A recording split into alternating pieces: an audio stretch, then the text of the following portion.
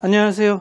데일리커입니다. 자 오늘은 고객분께서 잘 사용하다가 바이오스 업데이트를 하고 아 물론 그 전에 CPU undervolting을 하고 사용하다가 최근에 바이오스 업데이트하고 그리고 화면 떴죠? 그리고 나서 다시 undervolting 작업을 하고 그 다음부터 영 반응이 없는 작동이 안 되는 PC 입고가 됐습니다. 아직 저도 안 켜봤고요. 우리 패밀리 분들하고 같이 한번 켜보려고 준비를 했습니다. 내부는 이러한 구성이고요. CPU 쿨러는 싱글에 펜두 개짜리네요. CPU가 13600K, 600KF 그렇게 말씀하셨던 것 같고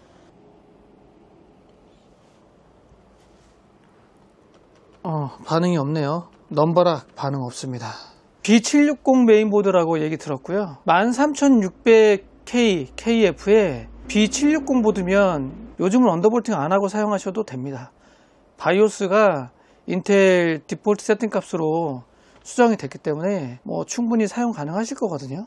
일단은 고객분께서 메인보드 배터리까지 다 탈부착 해보셨다고 저는 아까 그렇게 얘기 들었거든요. 제일 빠른 방법은 Q-Flash로 이용해서 바이오스 다시 업데이트 해보는 거. 메인보드는 모델명을 보니까 B760M 어로스 엘리트 AX Q-Flash로 한번 다시 바이오스 업데이트 해보도록 하겠습니다. 자, 우선 바이오스 USB 포트 연결을 하고요. 다행히 바이오스 업데이트, 업데이트라긴 그렇죠. 바이오스 덮어 씌우기, 덮어 쓰기 작업을 Q-Flash로 하고 나서 정상적으로 작동이 됩니다. 다행이네요. 혹시나 undervolting 하고 나서 안 된다고 하셔가지고 CPU 불량인가 했는데 그렇지는 않았습니다. 어, 진짜 다행인 것 같아요.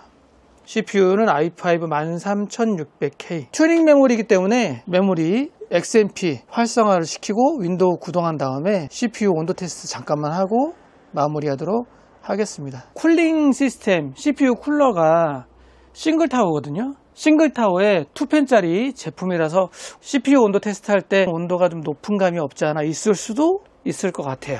그래서 undervolting을 하시지 않았나 싶고 그래도 인텔 디폴트 세팅 값으로 바이오스 업데이트가 되고 나서는 온도가 좀 낮아지긴 했을 거거든요. 현재 13600K Cinebench 지금 플레이하고 있고 최대 온도 지금 80도 정도?